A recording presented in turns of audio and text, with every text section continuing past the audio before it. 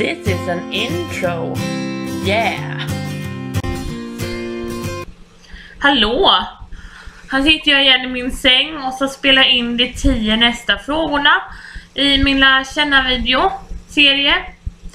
Jag har just tittat på Melodifestivalen och det blev som väntat. Eh, Måns Zelmerlöw som vann. Och där vibrerar min telefon. Eh, men det var väl inte särskilt oväntat. Eh, men ehm, jag tycker vi sätter igång och eh, om ni ser mitt smink som har runnit så, så bryr ni inte om det.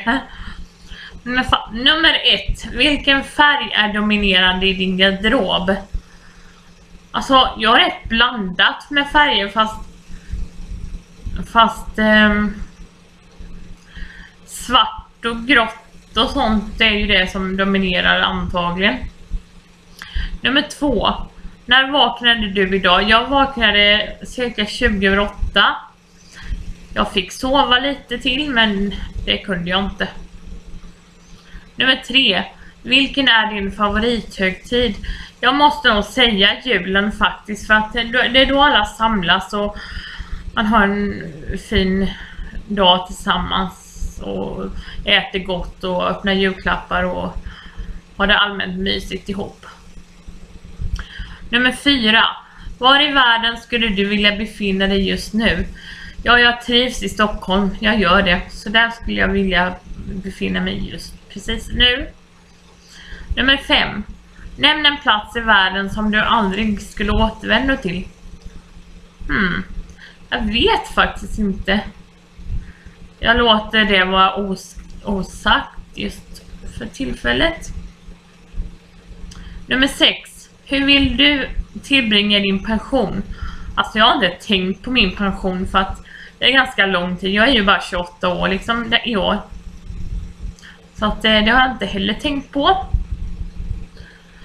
Nummer 7. Vad lyssnar du på just nu? Ja, jag har ju lyssnat på alla bidrag i Melodifestivalen.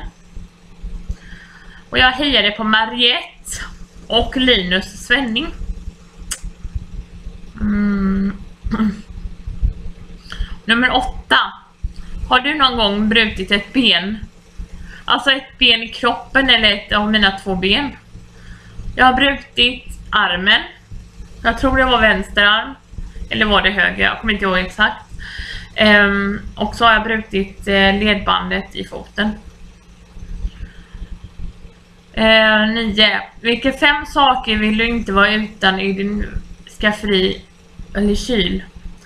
För det första vill jag inte vara utan mjölk, för mjölk är jättegott. Sen vill jag inte vara utan eh, färskost. Jag vill inte vara utan ägg. Jag vill inte vara utan någon dryck. Om man dricker mjölk då. Eh, och jag vill inte vara utan nudlar i mitt skafferi.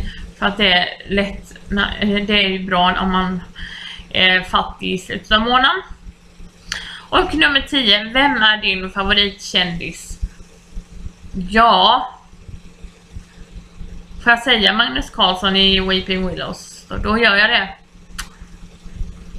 Uh, ja, det var mina 10 frågor för idag. Nästa video kommer imorgon. Nu ska jag kolla på lite eftersnack på Melodifestivalen och redigera videon.